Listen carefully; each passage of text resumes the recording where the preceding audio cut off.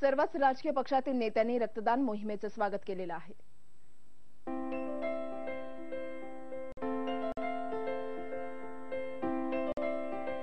मैं सोचता हूँ कि एक अच्छा प्रयास है और ये होना भी चाहिए।